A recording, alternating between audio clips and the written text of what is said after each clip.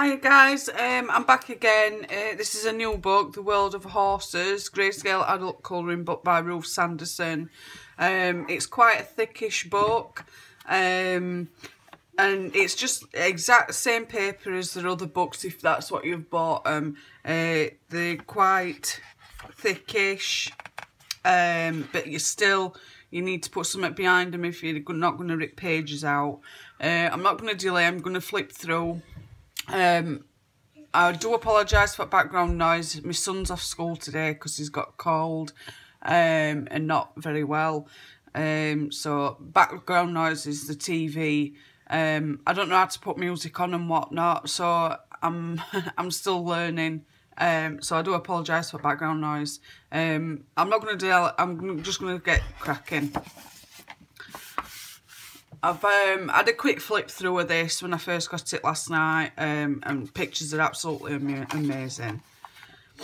Um, on this bit, um, it, she's telling you about uh, horse colouring tips um, uh, and gives you a quick description on how to do uh, grayscale colouring as well.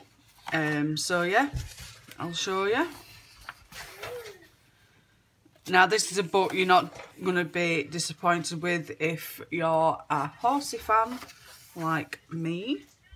I've never owned a horse in my life but I did do a bit of horse riding when I was younger. There is a couple of pictures that uh, do make me and ah because like such as this one it's not very detailed but it does explain that they are um, paintings that have been turned into grayscale some of photographs so you can tell difference um, with each picture which are paintings and which are photographs etc um, but still all the same I'm not going to grumble. It's a horsey book. I mean I love stuff like this. It's absolutely beautiful. The detail is just out of this world um, so yeah, if you're definitely into horses, this is the book for you. In fact, I'd be scared to even colouring it, to be honest. scared of ruining it. Look, little fall. Some beautiful pictures. I love the ones with falls. I love them all, to be honest. But you can tell the Ruth Sanderson's pictures, can't you? It's that type of book.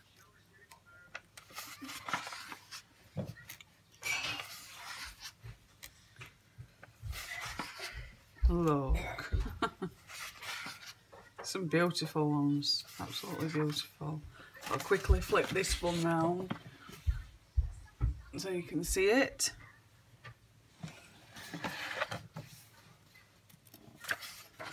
Another one with little falls. My phone's not wide enough to capture it all in one image.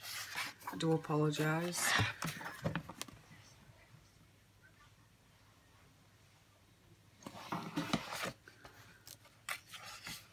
There's another.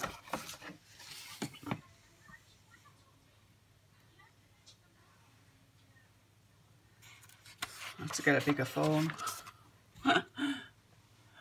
one, one that I can capture it all on. It's nice that you have a bit of range of um, landscape as well.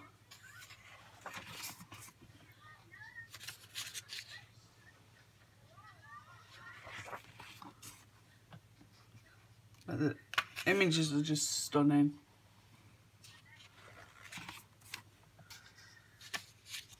I've not really coloured a Ruth Sanderson book yet. I think the texture of the book um, scares me a little because it's different to Molly Harrison's and I've been doing Molly Harrison's now for a year. So when I come to doing these, it's going to be a, a bit of a challenge because it's a different kind of texture. Uh, it tells you about the artist, uh, you can get newsletters and find her on Facebook. Um, yeah, and then uh, the other books that she's got published, which I've got that one, and uh, I think it's that one, or it might be another one. And they're, they're, them books are exactly the same as this one. Um, and that's it, yeah. Uh, it looks like Ruth's got a horse of her own.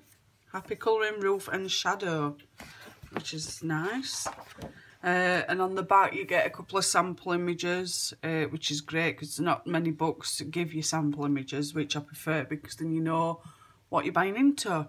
Um, it looks like there's some other books here as well, uh, Ruth Sanderson's, uh, if you wanted to buy them. So yeah, that's uh, Ruth Sanderson's book, uh, Horses. Thank you for watching. Again, if it weren't for you guys uh, liking them videos and commenting and sharing and etc there'd be no point in doing it.